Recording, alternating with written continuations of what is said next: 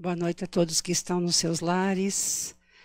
Boa noite a todos que estão aqui nos assistindo, nossos irmãos espirituais. E vamos agradecendo a esta casa que nos acolhe com tanto amor, com tanto carinho, com tanta aceitação.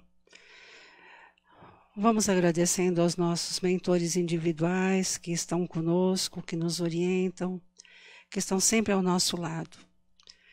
Aos mentores espirituais desta casa, aos mentores espirituais dos nossos lares, de todos nós.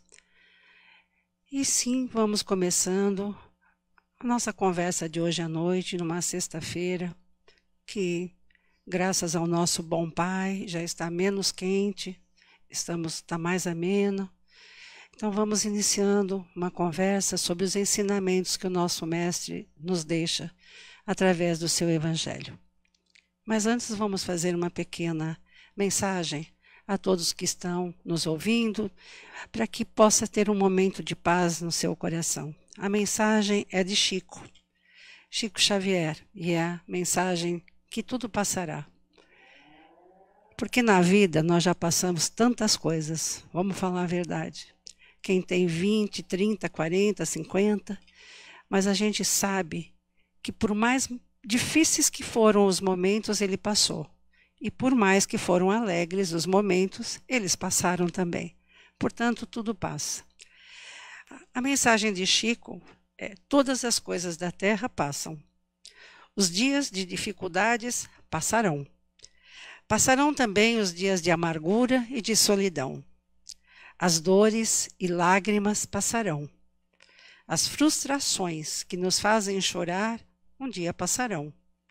A saudade do ser querido que está longe também passará. Dias de tristeza, dias de felicidade, também passará. Porque o nosso Mestre Jesus está no leme dessa nau e segue com o olhar sereno de quem guarda a certeza de que a agitação faz parte do roteiro evolutivo da humanidade e que um dia também passará. Assim, façamos a nossa parte, o melhor que pudermos, sem esmorecimento e confiamos em Deus, aproveitando cada segundo, cada minuto, que por certo também passarão. Um minuto atrás já passou, como tudo passa. Então, mais uma vez, boa noite, agora iniciando com o nosso papo desta noite. Então, hoje a gente vai falar, já dando seguimento porque é, é, às sextas-feiras à noite a gente segue o Evangelho segundo o Espiritismo. E vamos, vamos indo capítulo por capítulo. E a gente divide entre todos nós que vamos dando um pedacinho para cada um. A gente já teve aqui muitos que já falaram em outras sextas-feiras. Mas sobre o capítulo 13, que vossa mão esquerda não saiba o que faz a vossa mão direita, a gente já ouviu algumas pessoas falar sobre o bem sem ostentação, os infortúnios ocultos, o óvulo da viúva. E hoje nós vamos falar, convidar os pobres e os estropiados. Eu vou dar uma lida na primeira parte, depois eu, eu vou revisitar alguns textos. A primeira parte é Jesus nos falando. E ele também disse àquele que o tinha convidado: Quando derdes um banquete, não convideis nem vossos amigos, nem vossos irmãos, nem vossos parentes, nem vossos vizinhos que forem ricos, para que também eles os convidem em seguida. Por sua vez, e que assim vos retribuam o que tenham recebido de vós. Mas, quando derdes um festim, convidai os pobres e os estropiados, os coxos e os cegos. E ficareis felizes por eles não terem de vos retribuir. Isso vos será retribuído na ressurreição dos justos, ou seja, no mundo eterno. Um daqueles que estavam à mesa, tendo escutado estas palavras, lhe disse: Senhor, Feliz daquele que comer o pão do reino de Deus. Quem fala esta passagem é Lucas, no capítulo 14, versículo 12 a 15. E aí a gente tem é esse item e mais um outro item que nós vamos falar. Porém, eu gostaria de voltar um pouquinho, como eu sempre faço, e, revisitar alguns alguns itens que já foram falados na filosofia espírita por algumas pessoas que deixaram suas mensagens, entre elas Chico, Rodolfo Caligari. Mas eu vou, como eu sou fã do livro dos Espíritos, eu me lembrei da. Estamos estudando todas as segundas-feiras com o Carlos. Eu me lembrei de um tema que eu achei interessante. E a questão 267, que eu queria ler para vocês a questão 267. Eu vou indo e voltando nessa questão. Poderá o espírito, pergunta de Allan Kardec, poderá o espírito fazer sua escolha durante a vida corporal, ou seja, aqui como estamos? Eh, essa pergunta está no livro 2 da Vida Espírita, que é a escolha das provas. Quando a gente está lá em cima, como espírito errante, a gente vai escolher as provas que a gente vai viver aqui no mundo corpóreo. Então a pergunta é: poderá o espírito fazer sua escolha durante a vida corpórea? Resposta: seu desejo pode ter influência, dependendo da sua intenção.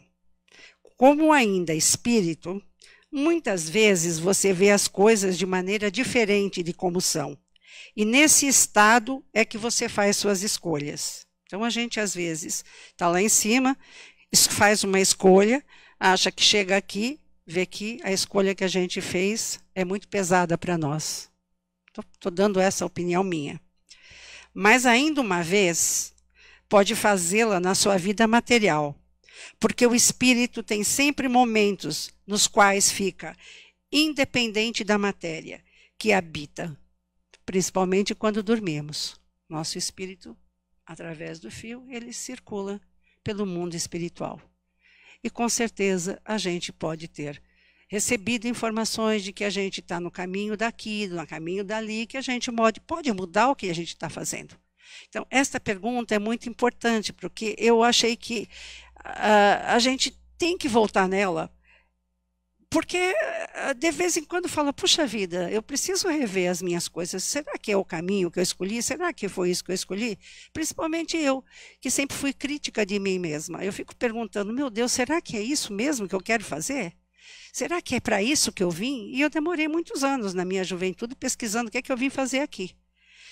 Bom, Assim, essa, como eu falei do livro 2 da vida espírita, tem questões muito interessantes. Se vocês estiverem interessados, dá uma lida. Ela, a questão 266, que é anterior a essa, também fala das escolhas no plano espiritual. Portanto, quando a gente está lá, a gente pensa, repensa e faz algumas vezes escolhas inadequadas para quando a gente vier na Terra. Indo uh, mais ainda na literatura espírita, eu fui procurar o livro do Chico Xavier, o livro da esperança dele. E tem um tópico maravilhoso que tem muito a ver com o capítulo que a gente está discutindo aqui hoje. Né? Que a vossa mão direita não saiba o que a vossa mão, a, mão, a vossa mão esquerda não saiba o que a vossa mão direita faz. E aqui, esse tópico desse livro do Chico é, chama-se Eles Antes. Eu vou dar uma lidinha para vocês. Eu não vou ler todo, só vou dar uma lidinha de como é que as pessoas uh, espirituais uh, deram mensagem para nós. De certo que o Divino Orientador não estabeleceu a desistência das relações fraternais, nem o abandono do culto às afinidades do coração, considerando, porém, a humanidade como família única. Aí, quando a gente volta para a questão 267, nós estamos fazendo parte de uma comunidade maior, família única, tá certo? A gente, se a gente parar um pouquinho, ah, tem, um, tem um filme de treinamento que eu eu assisti antigamente, é um filme que começa dentro de uma célula e aí ele vai, vai se expandindo, se expandindo, se expandindo, aí ele vai, chega até lá em cima no espaço, depois volta e vem até o núcleo de uma célula. Se a gente olhar para nós, a gente, no país que nós vivemos, a gente fecha, vamos fechando em nós e a gente vê o nosso país, o Brasil, aí depois a gente vê São Paulo, depois a gente chega em Bauru, e aí a gente vai fechando, até a comunidade que a gente vive.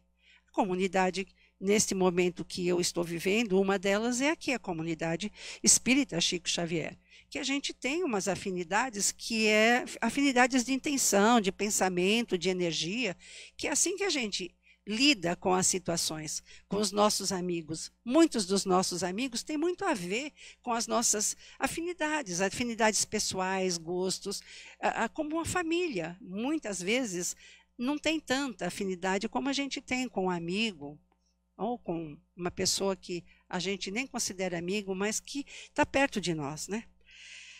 Aí, quando eu, eu, eu penso nisso, eu, eu ainda olho para mim e vejo o que está acontecendo no Brasil. No momento que nós estamos vivendo, uma situação tão, tão difícil. Aí eu pergunto: uh, onde estão os pobres e estropiados? Bom, a, aqui a filosofia da época, estrupiados, na linguagem da época, seria aqueles que perderam algum membro, incapaz para algum serviço. Porque não tinha, na época de Jesus, não tinha hoje as condições de, de medicina, de, de, ortopedia e de era, era, bem diferente. Então esses eram os estropiados que não tinham nenhuma condição de, de, de viver naquela época né? se não fosse muitas vezes jogado na rua, né? Então esse estrupiado é isso que eles querem dizer. Todas as noites antes de dormir, a gente tem que fazer, eu faço isso fazer, seguindo São Francisco de Assis, fazer uma reflexão de como foi o nosso dia, de como a gente tratou as pessoas e de como a gente viu as pessoas que estão à nossa porta. Às vezes a gente não está vendo essas pessoas que nós estamos numa fase de pandemia. Eu sigo a pandemia. Eu não, não vou em, em lugar nenhum que tenha multidão. Eu estou fazendo até porque eu sou da área da zona de risco. Mas, eh, eh, nas suas reflexões internas, pergunte-se a você: você gostaria, você está gostando de ser essa pessoa que você é, com tudo que você está vendo? Porque, mesmo não tendo muito contato, que nós estamos mais fechados, eu pelo menos, a gente assiste televisão, a gente está vendo o que aconteceu na situação no nosso país. É do mundo, mas eu estou voltando para o país. As pessoas perderam emprego, as pessoas que trabalhavam, que eram as mulheres que ajudavam nas casas de família, que traziam seu dinheiro porque faziam faxina, também perderam. Então tem muita gente com fome, tem muita gente doente, eh, parou os atendimentos muito por conta de atender pessoal que está com Covid. Então, se a gente olhar isso, pergunta para mim mesmo: eu estou gostando de ser essa pessoa que eu estou sendo? O que, é que eu estou fazendo? O que, é que eu posso mudar? Isso é uma questão que eu me faço muito, e quando eu veio, caiu para eu dar sobre os pobres e estrupiados, eu, eu falei, puxa vida, né?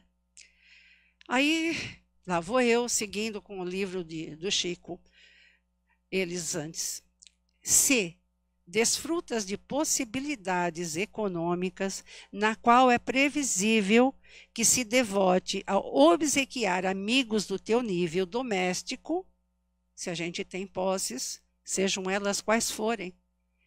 Quando eu falo posses, nem sempre são financeiras, nem sempre. Antes deles, todavia, socorra os que estão esmorecendo na fadiga e na penúria. A felicidade reside muitas vezes em um sorriso ou num simples prato de comida. Porque a gente está falando de abundância, não está falando só de abundância financeira. Nós estamos falando da, da, nossa abundância, de tudo que, que nos é dado. Né? Então, se a gente vê que a gente pode socorrer alguém da nossa família ou muitas vezes a pessoa que está na fadiga, por que, que a gente não, não faz? Tem várias coisas por que não faz. Ah, porque eu não tenho tempo, eu não tenho condição, eu tenho medo, hoje em dia tá muito, tem muita. Mas a gente faz parte de uma comunidade. Aqui na casa, pelo que eu soube, tem mais de 600 famílias inscritas precisando de uma cesta básica para comer, com muitos filhos. Então a gente não precisa ir longe, não precisa ser aqui se não vocês têm outra condição, outras pessoas.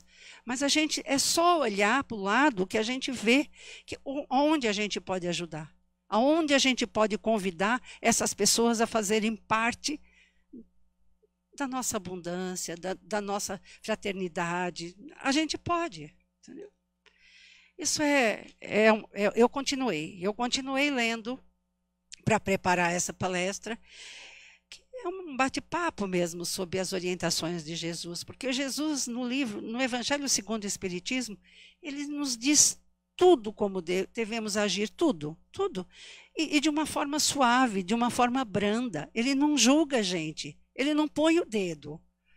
É, às vezes eu falo de uma forma que parece que eu estou pondo o dedo. Não estou. Eu, eu, eu, o julgo de Jesus é leve, o meu às vezes é um pouco mais pesado. Por isso que eu prefiro que ele me julgue, porque ele é melhor que eu. Ele é o perfeito e eu sou imperfeita. No livro de Rodolfo Caligares, ele tem um, na página do Espiritismo Cristão, também nos complementa com o tópico dar sem esperar retribuição. Tudo complementando a, o item dos pobres e estrupiados. Aos que se atêm à letra da Escritura, esquecidos de que as palavras do Mestre são espírito e vida. Pode parecer que ele venha a menosprezar as relações de família e amizade. Não. Mas o verdadeiro sentido do que Jesus está falando para nós é, é outro. Ele está pedindo, ele está exaltando para que a gente seja altruísta. É esse o sentido da palavra. Ele está despertando em nós o olhar para o outro e eu fui buscar o que significa altruísmo há tempos atrás. Altruísmo vem de um pensamento filosófico de Kant, que nasceu em 1798 e desencarnou em 1857. Altruísmo incita o ser humano à preocupação com o outro, ou seja, é um amor desinteressado pelo outro, amor desinteressado pelo outro, sem esperar nada em troca, sem humilhar, sem querer ser mais que o outro, sem ser soberbo. É isso que isso que ser altruísta nessa passagem que ele que também Rodolfo Caligari nos fala. Ser altruísta é ser caridoso, que vem com uma outra mensagem que está no Evangelho, segundo o Espiritismo, do mestre, nosso mestre querido, que ele nos diz: fora da caridade não há salvação. Isso é, já foi falado, já, essa, essa aula já foi dada aqui algumas vezes sobre isso. Mas eu me volto novamente para a questão 267 do livro dos Espíritos. A todo momento, seja dormindo ou acordado, sendo, tendo sobre nós o conhecimento que foi nos dado, nós temos chance de aprendizado, de procurar conhecimento, da gente insistir em ler e entender o que a gente está vendo, de olhar para o outro e entender, se colocar na situação do outro é muito, muito difícil a gente se colocar na situação do outro. O outro, às vezes, passa a ser invisível para nós. Se a gente vê um pedinte na rua, a gente não sabe nem a cor dos olhos dele, porque a gente não olha. Não olha. Gente, é, é uma coisa que acho que faz parte da, da nossa cultura, eu não sei. Eu acho isso. Né? Então, voltando à questão 267, a todo momento nós podemos repensar o nosso papel. Isso é misericordioso, porque a todo momento a gente pode fazer um novo começo. O Chico já falava isso também. Todo momento é tempo de começar. Parar de ficar olhando no passado. Ah, mas eu não tive. Ah, mas ninguém me deu quando eu precisei. Ah, porque ninguém. Gente, acabou, passou. Isso já passou. Eu li aqui. Isso passou.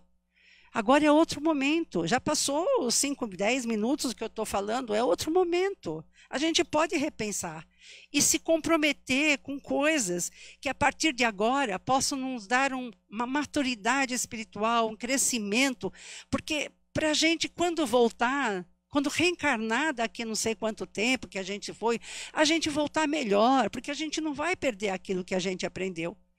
Está lacrado no nosso espírito. Então a gente pode repensar.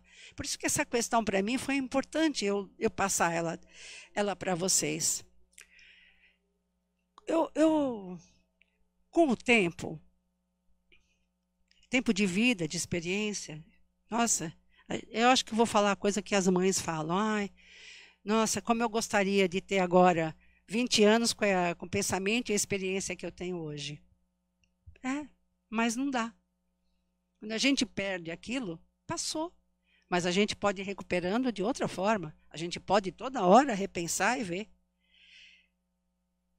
Eu, eu, eu tenho uma, um ensinamento comigo que, que com o tempo, com o tempo, a vida vai nos ensinando o que é importante.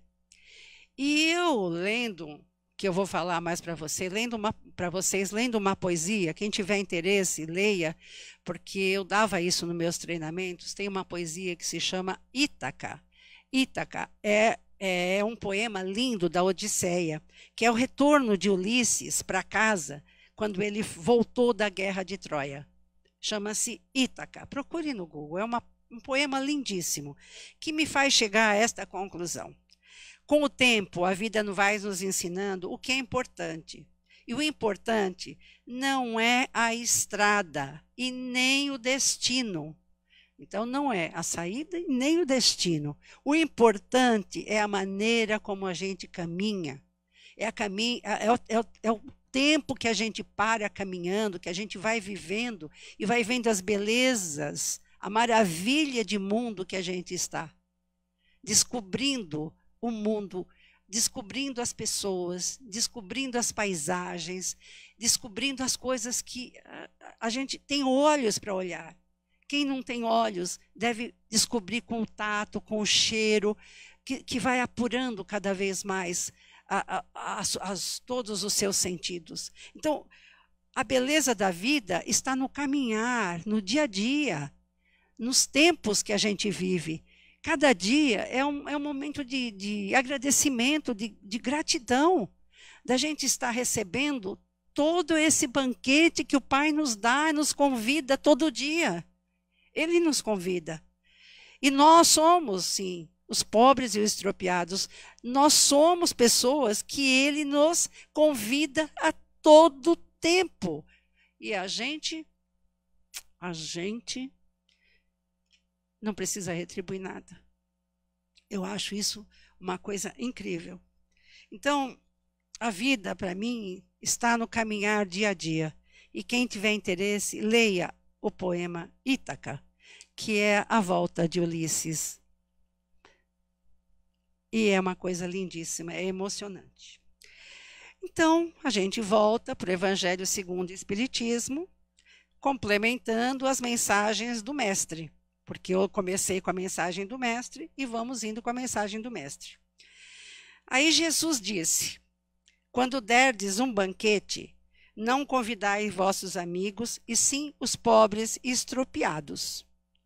Estas palavras absurdas, se tomadas ao pé da letra, são sublimes.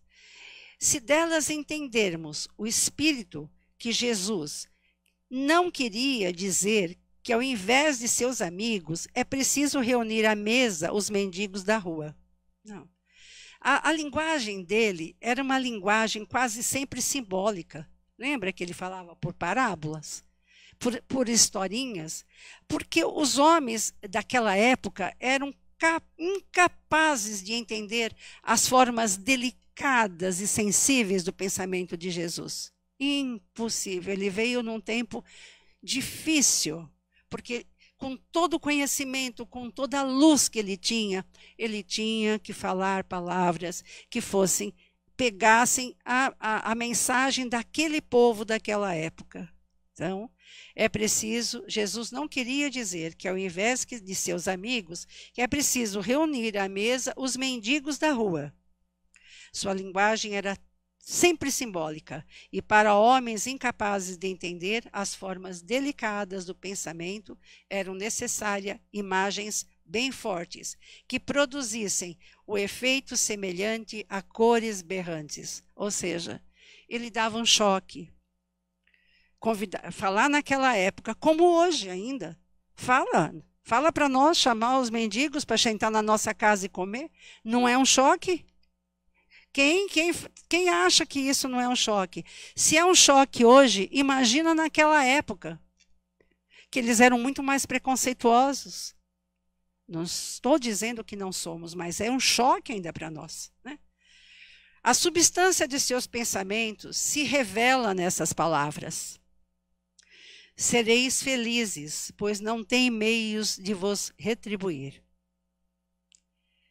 Isto quer dizer que não se deve, de modo algum, fazer o bem esperando por retribuição, mas pelo puro prazer de fazê-lo. Eu tenho certeza que vocês, eu tenho certeza que vocês se alegram, que vocês sentem prazer quando vocês uh, doam uma coisa que você vê que o outro ficou tão feliz de receber que vocês nossa, vocês se complementam, vocês se, vocês se completam, vocês se. Nossa, vocês brilham, o olho de vocês brilha. Às vezes, uma coisinha simples, uma rosa que você dá para uma pessoa que nunca recebeu uma rosa, você, você vê que, nossa, que felicidade que ela ficou, aquilo alegrou o meu coração. Quantos de nós já não temos isso, já não fizemos isso? Vamos, fala a verdade. A gente sente isso no coração, essa alegria imensa, essa alegria que a, que a gente tem. Isto quer dizer que não se deve, mais uma vez eu repito, alguma fazer esperando por retribuição. Para fazer uma comparação surpreendente, Jesus diz: Convidai para vossos banquetes os pobres Convidai os pobres, porque estes não poderão vos retribuir. E por banquetes é preciso entender não a refeição propriamente dita, mas a participação na fartura que desfrutais. Banquete é você, você com tudo que você tem, com seu sorriso, com seu abraço, com seu encaminhamento. Às vezes, uma pessoa aflita pede uma ajuda às vezes com uma palavra de, de, de bondade, de, de auxiliar, de um, você, você muda a frequência dela. Essa é a abundância que nós temos, essa é a abundância de fartura. Com certeza, nesse momento que as pessoas, muitas estão passando fome, ajudar com, com uma comida, ajudar com uma contribuição, ajudar com uma roupa para o filho, com certeza ajuda. Mas a fartura é muito maior do que só isso. Eu falei isso no início lá, de que não é financeiramente só. Não é. Tanto que já foi falado antes do óbolo da viúva, já foi falado da abundância, antigamente, da, da, das leis de Jesus, que não adianta ficar mostrando, não precisa se mostrar para o outro, que foi o Carlos quem falou a primeira, não adianta se mostrar para aquele que ele, ele tirou, sarou. Não, não vai se mostrar. Vai primeiro mostrar para os sacerdotes. Porque existia uma lei, como Carlos disse. Então, não precisa se mostrar para nada.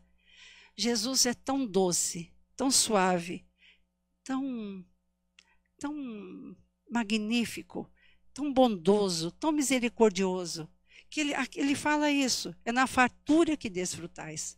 Seja qualquer fartura, e todos temos. Desde o mais simples que mais simples mendigo de rua tem fartura, que com certeza ele ajuda aos seus que estão naquela mesma condição. Essa fartura é nossa, é nos dada de graça. É isso que ele pede. Estas palavras, então, essas palavras podem, entretanto, ser entendidas no sentido mais literal. Quantas pessoas, e nós também sabemos quem são, convidam a nossa mesa, a mesa só quem pode nos retribuir. E eu tenho aqui um exemplo pessoal.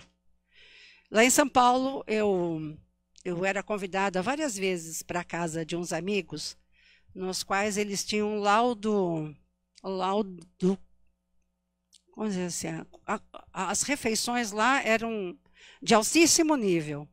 Os vinhos, as refeições. Na segunda vez que eu fui, eu fui, eu chamei a minha amiga do lado e disse que eu não ia ficar. Ela perguntou por quê. Eu falei porque eu não consigo e nem quero retribuir um almoço ou um jantar para vocês neste mesmo nível. Eu não tenho condição. Eu não tenho e nem quero. Eu deixei de ir.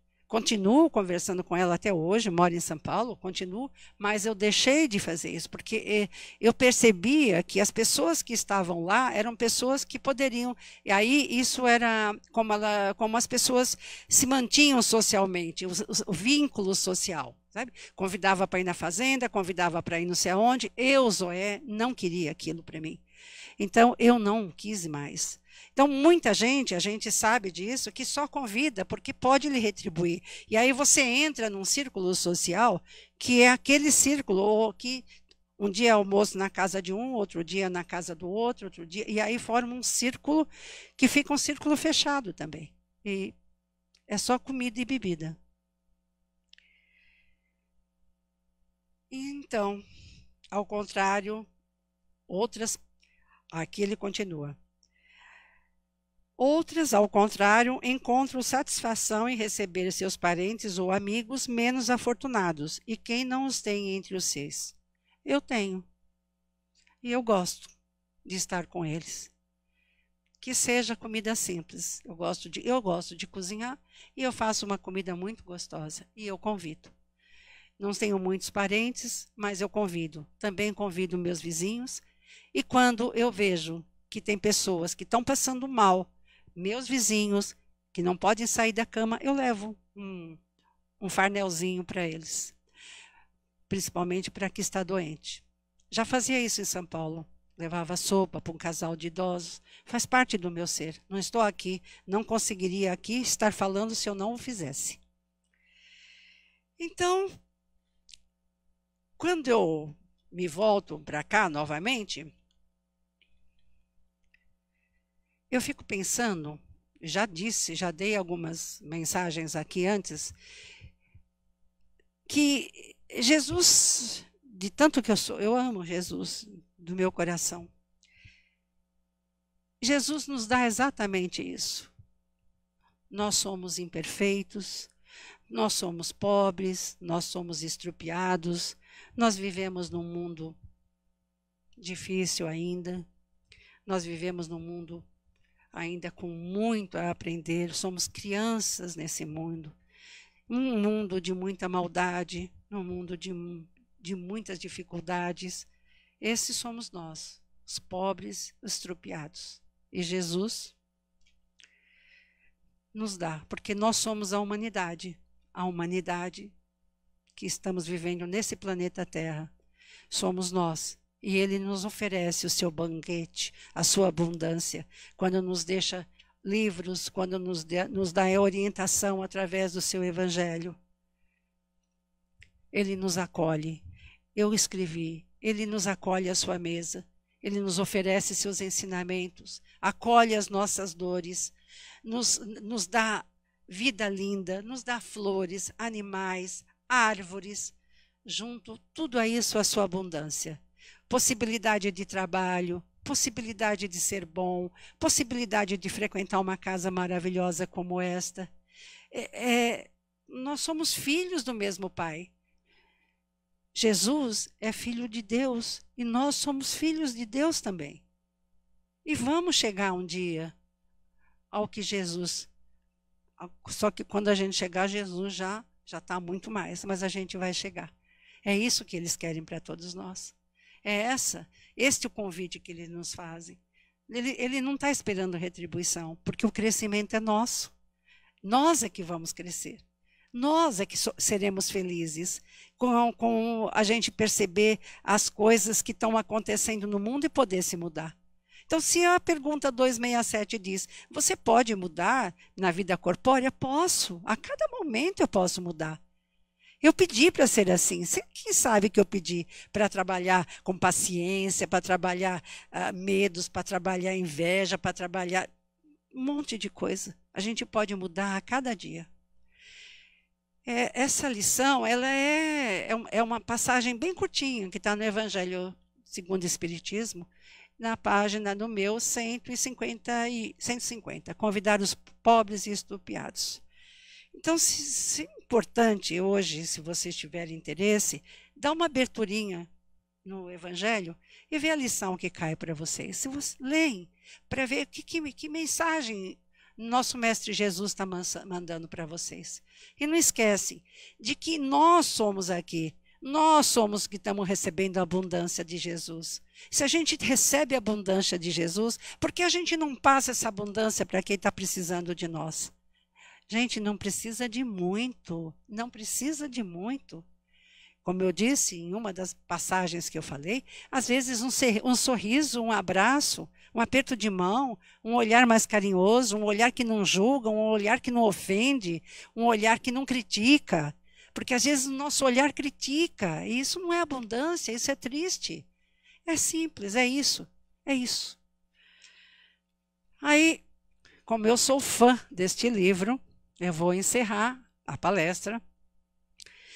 O livro é, é Renovando Atitudes. Ele é escrito por Hamed. Eu sou fã de Hamed. Tenho quase todos os livros de Hamed. E nesse item, eu também vou ler para vocês, chama-se A Busca do Melhor. E aí também ele nos remete: Pedi e se vos dará, buscai e achareis, batei a porta e vos abrirá. Porque todo aquele que pede, recebe, quem procura, acha, e se abrirá aquele que lhe bater a porta. Mas Deus lhe deu, a mais do que o animal, o desejo incessante do melhor. E este é o desejo do melhor que o impede, que o impele à procura dos meios de melhorar a sua posição. Que vem, que vem com tudo que eu estou dizendo. A gente pode se melhorar todos os momentos, porque o nosso Pai pede isso para nós todos os momentos através dos seus ensinamentos e das escritas de vários escritores que psicografam livros espirituais para nós. E uma das mensagens que está aqui no livro, ele é maravilhoso. Sócrates afirma que ninguém que saiba ou acredite que haja coisas melhores do que as que faz, ou a que estão ao seu alcance, continua a fazê-las quando conhecer a possibilidade de outras melhores. Eh, ficou claro? Se a gente sabe que a gente pode fazer coisa melhor e a gente não faz, é, por quê? É essa pergunta que a gente pode fazer de noite. Por quê? Se eu sei que ninguém, que ninguém saiba ou acredite que haja coisas melhores do que as que faz. Existem coisas melhores do que eu faço. As que estão ao seu alcance, estão ao meu alcance. E você continua a fazê-las quando conhece a possibilidade de outras melhores? Ou seja, você não muda, você continua fazendo a mesma coisa, tendo as mesmas atitudes, sendo que você tem o conhecimento. É, aí, aí a gente para e pensa assim: mas nós estamos na abundância de Jesus. Nós somos os pobres e estrupiados e Ele está nos dando a mão. Por que não fazer? Por que continuar na mesmice? Por que continuar neste momento? Todos nós acumulamos informações, instruções e noções em muitas das nossas multifacetárias vivências anteriores. Ou seja, nós temos acumulado coisas de muitas vidas. A princípio, passamos a vivenciá-las superficialmente, Aos poucos, vamos analisando, assimilando esses processos de reelaboração e só depois passar a integrá-las em definitivos em nós mesmos. Isto chama-se incorporá-las por inteiro. Portanto, nós temos todas as possibilidades. Eu deixei de falar aqui, mas não é uma coisa menos importante, quando a gente fala na abundância, é triste ver que está sendo queimadas as árvores, que os animais estão morrendo. É triste. Cada vez que eu, que eu vejo isso, eu, eu rezo, rezo muito para que eh, nosso misericordioso Pai acalme rapidamente as dores e leve-os antes que eles sofram muito. Mas quando eu falei na abundância, quando a gente fala de dar a mão, um sorriso, eu também queria deixar que a gente faça isso por um animal Está cheio de animal abandonado. Coloque uma água para eles, troque a água todo dia. Se você vê um animal, dê uma ração. Faça alguma coisa pelo seu semelhante. Ele está numa condição que precisa da nossa ajuda. Ele não sabe pedir comida. Ele precisa da nossa ajuda. Isso é ajudar na nossa abundância também. Não maltrate, não abandone, Cuide do que está sobre as suas responsabilidades. A gente assume responsabilidades e a gente precisa se comprometer com elas, do fundo do nosso coração, porque é isso que nosso mestre pede para nós. Ele nos convida à sua mesa. E nós somos pobres e estropiados. Ele nos convida e não espera nenhuma retribuição de nós. Ele só espera que sejamos melhores, com todo o conhecimento que através dele nós conhecemos. Isso foi o que eu tinha para falar. Eu espero que pelo menos se uma uma uma fala de tudo que que eu falei, uma, uma mensagem ficar gravada, já é uma mensagem interessante. Leiam, leiam, leiam o que Jesus nos deixa, leiam o livro dos Espíritos, leiam o Evangelho segundo o Espiritismo e toda temos um monte de de livros maravilhosos que nos ajudam, que nos fortalecem. Conversem com as pessoas, abram o seu coração, deixe entrar na sua abundância. Essa é a abundância que Ele deu para nós. Enfim, é o que tínhamos para hoje. Eu agradeço de todo o coração, de todo o meu amor, tudo a esta casa que nos deixa participar, que nos acolhe e que nos dá muita luz. Eu quero agradecer principalmente ao nosso Pai e ao nosso Mestre Jesus. Pai nosso que estás no céu, santificado seja o vosso nome, venha a nós o vosso reino. Seja feita a vossa vontade, assim na terra como no céu. O pão nosso de cada dia nos dai hoje Perdoa as nossas dívidas, assim como nós perdoamos aos nossos devedores. Não nos deixeis cair em tentação, mas livre-nos, Pai, de todos os males. Que assim seja. Muito obrigada a todos. Que Deus esteja com vocês, na casa de vocês, com muito amor, com muita paz, com muita proteção. Obrigada.